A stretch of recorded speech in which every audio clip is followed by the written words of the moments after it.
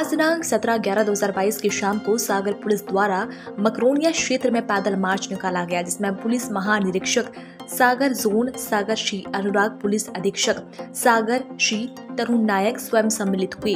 मार्च मकरोनिया के रजा खेड़ी चौराहे से शुरू होकर मकरोनिया चौराहा होते हुए मकरोनिया थाने तक जाकर समाप्त हुआ। उक्त मार्च में अतिरिक्त पुलिस अधीक्षक सागर एवं शहर की थाना प्रभारियों सहित थाना और पुलिस लाइन का बल भी सम्मिलित रहा। मार्च का मुख्य उद्देश्य अपराधों की रोकथाम और सामान्य जन के साथ पुलिस का मेलजोल बढ़ाना और क्षेत्र की जानकारी से वरिष्ठ अधिकारियों को अवगत कराना होता है।